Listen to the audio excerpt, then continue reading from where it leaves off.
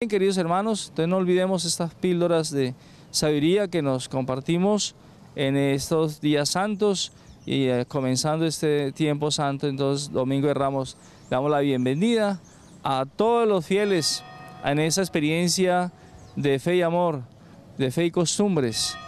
en esa experiencia de introducirnos en una, eh, en una experiencia pues de de orar, de rezar, de actos de fe, de actos litúrgicos y de actos eh, en los cuales eh, nosotros vamos demostrando una fe públicamente, una fe en la cual compartimos todos. Viva el Hijo de David, viva, el Rey de Reyes y nosotros vamos tras los pasos de Jesús. Bien, queridas familias, queridos pueblos,